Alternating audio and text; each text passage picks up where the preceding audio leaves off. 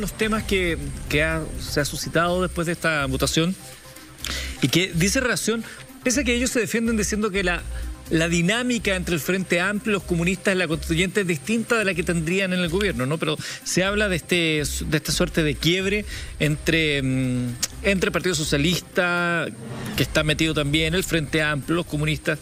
No hubo acuerdo en las votaciones, en los candidatos que eligieron, no se apoyaron mutuamente. Finalmente, eh, tanto así que ninguno de los dos gana con sus, con sus propios candidatos. Entonces, nos falta aquel que dice ¿Esto es un anticipo de lo que va a suceder en el gobierno? Los comunistas por un lado, Frente Amplio por otro. Bueno, ellos dicen, tenemos otras dinámicas. ¿Qué hay, qué hay de, cierto en todo esto? ¿Cómo lo ven ustedes? A ver, yo creo que sí. Em, Voy a partir con un elemento, voy a volver atrás un poquito al tema de eh, el rol del Partido Comunista. Marcela Cubillos planteó en un tuit eh, que eh, el Partido Comunista sería el gran triunfador y el articulador de esta operación en contra del Frente y el Partido Socialista. Si bien el Partido Comunista adoptó esa posición, es decir, esto lo viene adoptando desde el 4 de julio, es decir, esto ya, esa alianza con los grupos sociales lo había articulado desde antes. Y en segundo lugar, eh, es minimizar el rol que tuvieron las otras articulaciones, los otros colectivos, el movimiento social constituyente, el pueblo constituyente, los los escaños indígenas, etcétera, eh, la unidad por la plurinacionalidad. Entonces, ellos también jugaron un rol en esta historia y por lo tanto yo no creo tanto en que solo el PC es el articulador de esta operación. Creo que acá hubo otros actores y actrices que jugaron un papel que particularmente son los independientes. Dicho eso, sí, el PC está jugando un rol en, la campaña electoral de Boric y en la constituyente. La constituyente adoptó desde el día uno una posición, llamémoslo más radical, más puntúa, eh, y eso yo creo que en el gobierno seguramente lo va a seguir haciendo en el Congreso, en el Parlamento. Tenemos un Parlamento con bastantes eh, eh, parlamentarios del Partido Comunista, seguramente van a jugar a ese rol de en tratar de empujar los acuerdos sociales hacia la calle, hacia, eh, hacia mayores ganancias ciudadanas, porque eso es lo que le ha dado resultados al Partido Comunista. Por lo tanto, yo creo que va a ser parte de su estrategia. ¿Y crees que eso le da también réditos eventualmente?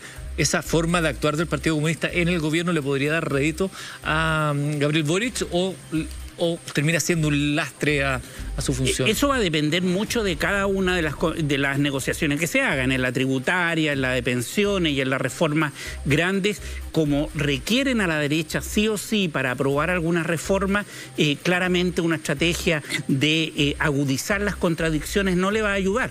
Eh, y por lo tanto va a tener que moderarse en ciertos momentos.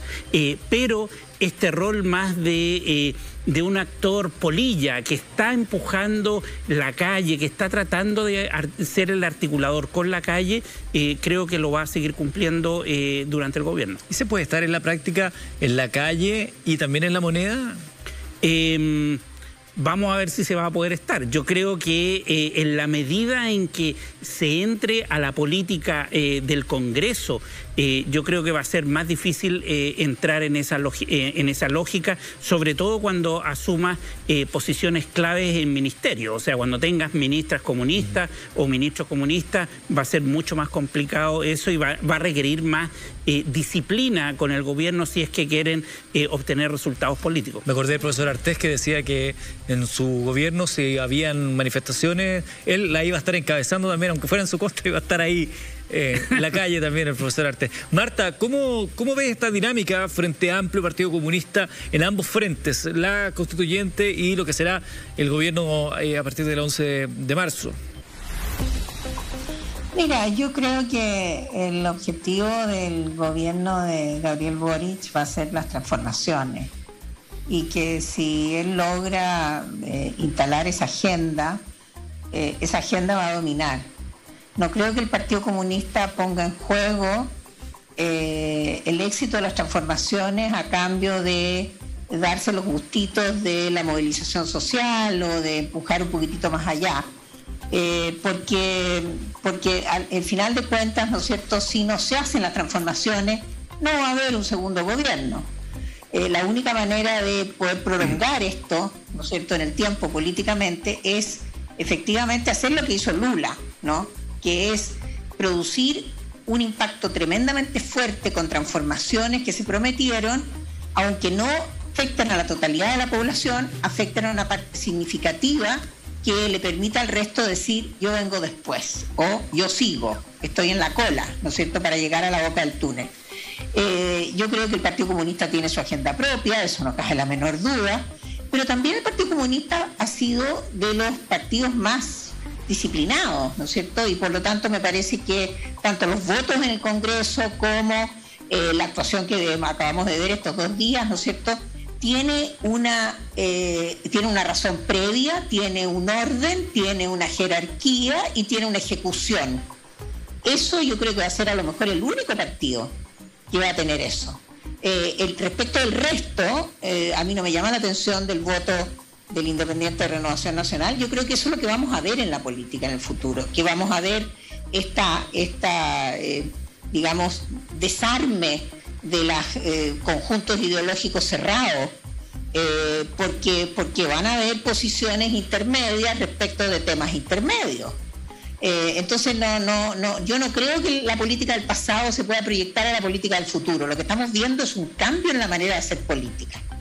Y lo que acabamos de ver ayer es un cambio absolutamente radical que nos dejó a todos un poco boquiabiertos. ¿ah? pero tenía una razón de ser, tenía un sentido que se ve al final en el resultado.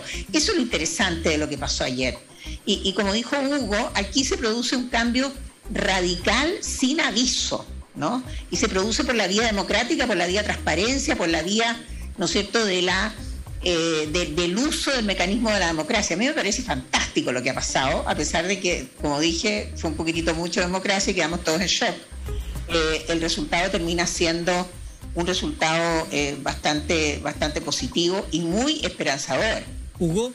Ah, porque no, no, veo posiciones extremistas en, en, todo lo que ha sucedido. Recojo un poco el argumento de, de Marta, Hugo, y te planteo al mismo tiempo otra de las conversaciones que ha habido durante el día. Para algunos, y he escuchado a varios personeros de partidos políticos eh, particularmente diciendo que lo de ayer fue un bochorno, una cosa vergonzosa. Lo dijeron también algunos eh, convencionales constituyentes que habían dado un espectáculo, eh, dijo uno de ellos.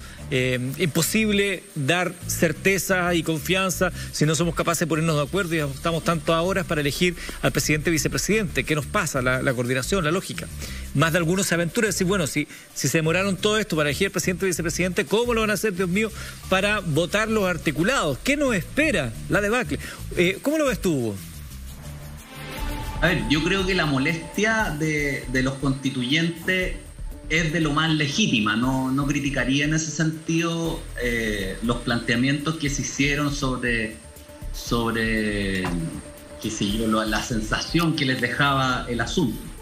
Pero, pero en cierto sentido creo que son sintomáticas también las declaraciones, porque lo que está pasando es que estamos en un momento de, alteración profunda del, ciclo político.